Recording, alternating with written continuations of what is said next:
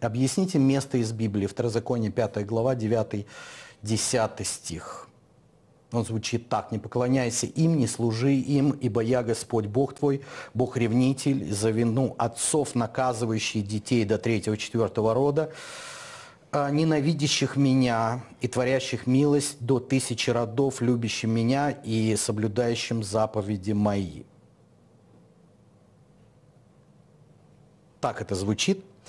Снимается ли эта вина с человека, если он покаялся? Вот как вы видите вот это родовое, назовем это родовым проклятием, и вот до какого рода вот сегодня остается вот эта, вот эта часть? Может быть, Таня начнет нам говорить на эту, на эту тему свое видение и понимание да, этого? Это на, на самом деле э, очень э, сложный вопрос, и он касается, наверное, каждую семью, потому что наверное, в каждой семье есть какие-то свои э, вещи, которые передаются по, э, из поколения в поколение.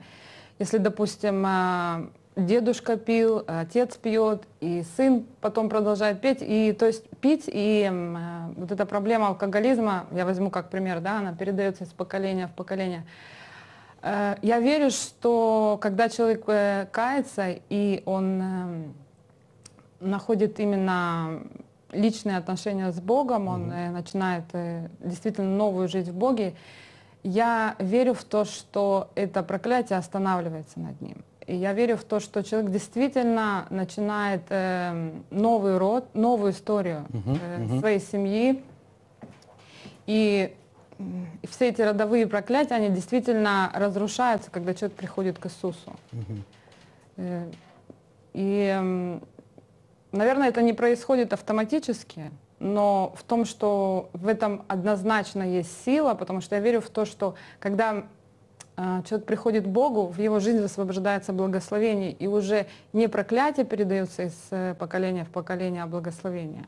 Но человек, получается, должен с этим бороться, да? да. То есть, получается, у него есть э, какое-то сопротивление. Иеремия 31 глава, 29-31 стих. Вот так звучит. В те дни уже не будут говорить, отцы ели кислый виноград, а у детей на зубах оскомина. Да? Но каждый будет умирать за свое собственное беззаконие. Кто будет есть кислый виноград, у того на зубах и оскомина будет. Вот наступают дни, говорит Господь, когда я заключу с дома Израиля, из дома Иуды Новый Завет. И дальше идет обетование о Новом Завете. Да? Продолжи. Э, ну, давай э, возьмем местами Писания будем все-таки э, оперировать. Есть mm-hmm. такое э, местописание в притчах, где написано, что как э, ласточка вспорхнет, как птица рутит, так незаслуженное проклятие не сбудется. Идолопоклонство – это заслуженное проклятие, потому что так Бог говорит, Бог вчера, сегодня и всегда один и тот же. И э, написано, что идолопоклонство и служение иным богам – это проклятие заслуженное, и оно mm-hmm. передается до третьего и четвертого рода. Э, что произошло, когда Бог высвободил обетование э, Нового Завета? Он как раз и, э, вот ты как раз это место Писания, которое я хотел упомянуть, и упомянул, угу. что тот, кто в своем беззаконии находится, от своего же беззакония и умрет. То есть во времена Нового Завета и Иисус своей смертью фактически завершил на кресте совершение Нового Завета. Угу как раз мы больше не несем на себе проклятие наших отцов, и мы сегодня имеем возможность покаяться за грехи свои собственные. Плюс ко всему, э, вот в этом и есть благодать, которую мы получили вместо благодати, которая была. Иисус понес на крест всю рукописную, написанную против нас. То есть все наши проклятия, родовые, угу. неродовые, оккультные, неоккультные, какие угодно, даже высвобожденные в, нас, в наш адрес осознанно и неосознанно, Он понес их на крест своим телом. И больше ничего в нашей жизни, после того, как мы приняли жертву Иисуса Христа как жертву умилостивления за всю нашу грешную жизнь, больше ничего над нами не властвует. Другой вопрос, что человек может сидеть и, что называется, заниматься самокопанием и выискивать, а за что же мне вот это, а за что же мне вот это, за что тебе вот это написано в книге Второзакония. Но Иисус, э, когда провозгласил, что вот вино, да, кровь Нового Завета – он все это прекратил, не отменил, но прекратил. В этот момент начали действовать другие правила. И эти другие правила говорят, каждый сам за себя даст отчет Богу. Написано, что каждый должен совершать страхом и трепетом свое спасение. Поэтому понятно, что родовые проклятия существуют. И пока вы не покаетесь перед Богом, не примете Его в свое сердце, как Господа своего Спасителя Иисуса Христа, не примете, что Его жертва умилостивления Богу была за освобождение вас от любых проклятий, от любых болезней, от любых чар, э, очарований, колдований и всего, чего там производили над вами во времена Советского Союза с этими вот слава КПСС и так далее. Все это отменяется в этот момент. Не нужно заниматься самокопанием. Иисус, Господь, Он взял все, что было плохое в вашей жизни на крест, вам оставил только хорошее. Берите это. Зачем вы берете с собой то, что было? Перестаньте себя осуждать. Бог вам уже не помнит Слава Богу, я подумал о чем? Я подумал, может быть, ты нас поведешь в молитве, особенно за людей, кто чувствует и понимает, вот они уверовали, пришли к Богу, но чувствуют, что что-то мешает в отношении их семьи, их родства. Вот э, помолиться именно о свободе, о свободе от проклятия. И что людям нужно сделать? Может быть, несколько слов ты скажешь. И я бы предложил я бы предложил вот повести людей в этой молитве. Э, прежде чем э, помолиться, знаете, что такое молитва по мне? Это не выпрашивание у Бога какой-то очередной милости в нашу угу. жизнь, это э, разговор с Богом на тему того, что мы осознали. И вот сегодня утром ко мне пришло такое осознание, когда меня попросили просто рассказать, а что же человек из себя представляет, собственно говоря.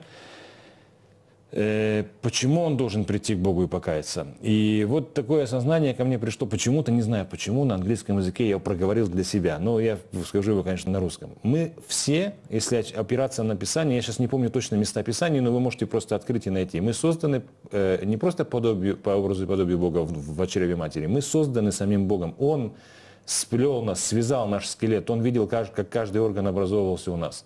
Мы рождены Э, по, по плоти, да, то есть от нашей матери и отца, которые нас э, зачали, и мать выносила, и мы рождены. Мы испорчены были этим миром, да, этим грехом, который в этом мире. Мы очищены были кровью Иисуса Христа. Мы э, получили вот это вот э, воссоздание, да, recreation на английском, как это сказать, э, э, воссоздание, воссоздание, да, да, через воду и духа. И в Духе Святом мы сегодня новое творение во Христе Иисусе. Новое творение во Христе Иисусе не может нести на себе или с собой, или за собой вести все то, что было в прежнем творении. Поэтому, когда мы говорим о конфликтах в семье, когда мы говорим о каких-то непонятных вещах, которые с нами происходят, мы должны помнить, мы новое творение во Христе Иисусе. И давайте помолимся за то, что вот это вот э, присутствие Духа, которым мы должны вводиться угу. сегодня, угу. будучи верующими, угу. и, и, и присутствовало во всем, что мы делаем, в наших разговорах, в наших делах, в наших мыслях, э, в наших взаимоотношениях и так далее. И вот за это давайте, чтобы мы помолились в согласии, потому что все, что мы принесем перед Богом в согласии, написано, Он даст нам. Аллилуйя. Господь, мы благодарим Тебя за то, что Ты уже да, все Господи, совершил Бог, на кресте ради каждого из нас, Господь. За то, что Ты, Господь, создав семью как первую свою церковь, как первую свой образец того, как да, человек Господи. должен двигаться в жизни, Ты просто совершил все. Он все описал, все рассказал, Господь. Ты ради всего этого умер на кресте, О, для того, чтобы избавить нас от всяких вот этих вот э, наносов прошлого, от всяких обид, от всяких непрощений, от любого рода конфликтов, которые которые мы несем за собой, потому что мы так привыкли, Господь. Но мы сегодня новое творение в Тебе. Мы очистились, мы родились свыше через воду и дух, Господь. Мы просим Тебя, чтобы Ты пришел сейчас в нашу жизнь, Аминь. разрушил всякое ермо дьявола, да, потому что мы покорились Ему не добровольно, но по воле покорившего нас туда. И, Господь, мы получили это откровение от Тебя. Мы получили Тебя в качестве Господа нашей жизни, и мы знаем, что Ты совершенный Бог, который никогда не допустит ничего плохого, потому что Твои помышления нас во благо, а не во зло зло. А значит, эти помышления и о нашей семье, и о наших детях, и о наших отношениях, и о нашем будущем, Господь, пусть это все сегодня будет излито в жизнь каждого человека во имя Иисуса Христа. И мы это разрешаем здесь на земле. Да, да будет разрешено на небесах во имя Иисуса Христа, потому что Ты сказал, где двое или трое согласятся и попросят, Отец Небесный дал нам это. И мы на этом стоим обетовании. И да будет так во имя Иисуса. Аминь. Аминь. Господи, мы молимся сейчас за Аллилуйя. отдельно людей, кто страдает, и кто борется с этим духом алкоголизма, как э, Таня говорила об этом, Господи, мы молим Тебя в согласии, чтобы Ты дал силу этим людям победить, Господи, силу, Господь, свою силу, чтобы Ты отделил этих людей и дал им победу над этой зависимостью, Господи, и вывел все семьи, вывел, кто желает, кто Тебе говорит, да, Господи, я хочу освободиться, мы молим Тебя, освободи, отдели, очисть, Господи, во имя Иисуса Христа, и дай силу и помазание, Господи, выйти из этого рабства во имя Иисуса Христа.